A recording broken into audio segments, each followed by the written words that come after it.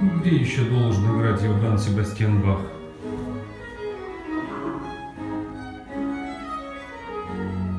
В мире писсуаров.